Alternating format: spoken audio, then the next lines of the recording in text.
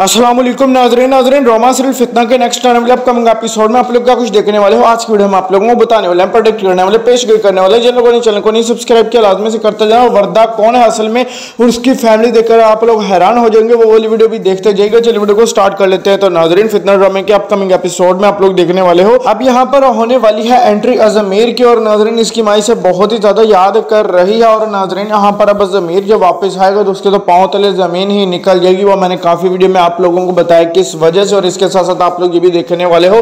कि नाजरीन, वर्दा जो है वो अपनी आई पे आ चुकी है। नाजरीन, वो बहुत ही ज़्यादा कुछ कर रही है, बहुत ज़्यादा हाथ पाँव मार रही है, चाहती है कि यहाँ से वो निकल जाए, यहाँ से अपना अलग घर में जो है वो चली जाए। इसके लिए और भी बहुत सारी हथकंडे आजमा रही है और इसके साथ साथ आप लोग ये भी देखने वाले हो।